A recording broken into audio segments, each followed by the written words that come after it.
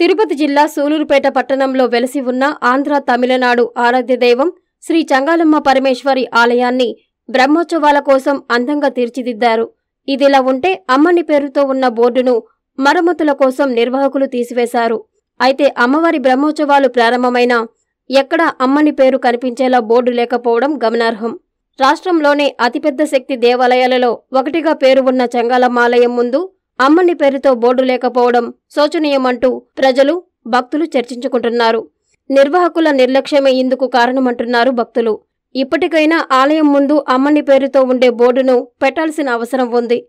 ఇతర రాష్ట్రాల నుండి సైతం ఈ తిరునాళ్ళకు వచ్చే భక్తులు ఈ ఆలయానికి కనీసం అమ్మని పేరుతో బోర్డు కూడా లేదనే మాట రాకుండా చూసుకోవాల్సిన బాధ్యత పాలకవర్గంపై ఉందని భక్తులు పేటవాసుల అభిప్రాయం. చూడాలి మరి ఆలయ అధికారులు ఏం చేస్తారో?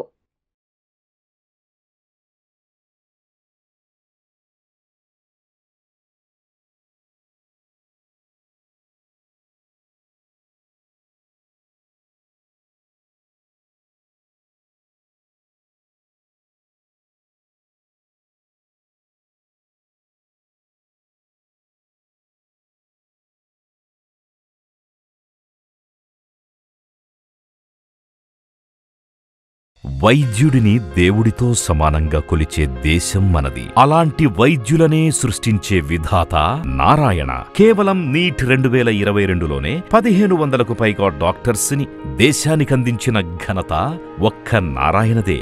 నీట్ అంటే నారాయణ నారాయణ అంటే డాక్టర్లను సృష్టించే విధాత.